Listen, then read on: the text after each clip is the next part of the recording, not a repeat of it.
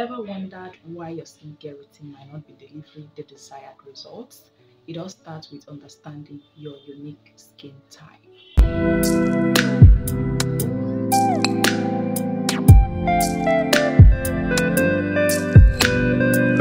Hello beauties, what's up and welcome back to my channel. It's me, your girl NK and this is Nkiru Okoye TV. So in today's video, I'm going to share with you two ways on how to know your skin type.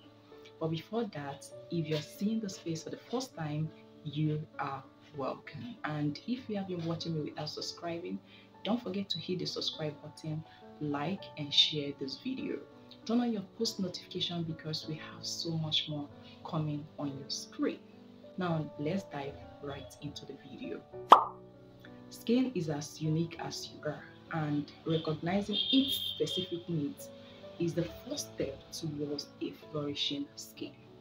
Identify whether your skin falls into the categories of oily, dry, combination, or normal skin. So here are the two ways to know your skin type. First option, you will start by washing your face with a gentle cleanser. Allow your face to air dry. Don't apply anything on your skin don't go under the sun. Don't go close to the heat. Just leave out your skin for one hour. Come back to the mirror and do a close examination on your face.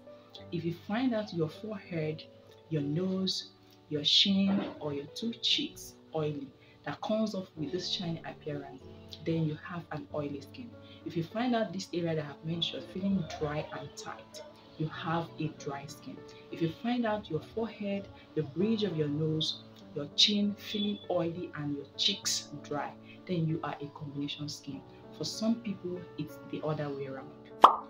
The second option is for the people that are in the colder regions.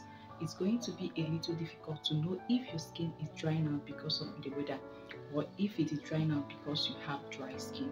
After washing your face and leaving it out to dry for one hour, you go to the mirror and do a very close examination for people who notice larger pores on their face means you have an oily skin.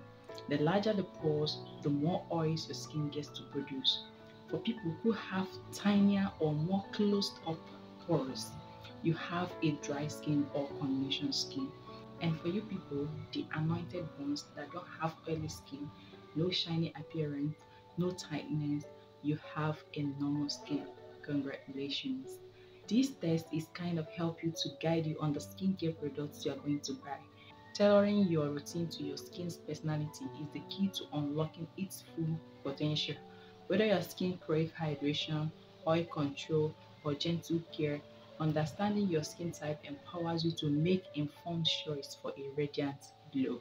You should also know the difference between skin type and skin concern. Not to mix up the skin concern like dehydrated skin, sensitive skin, acne prone skin and matured skin. Now using this test, what's your skin type? Okay guys, we have come to the end of this video. Share this video for others to learn. Subscribe to our channel for more videos and I will see you guys in my next one. Bye. Thanks for watching. Don't forget to like, share, and subscribe.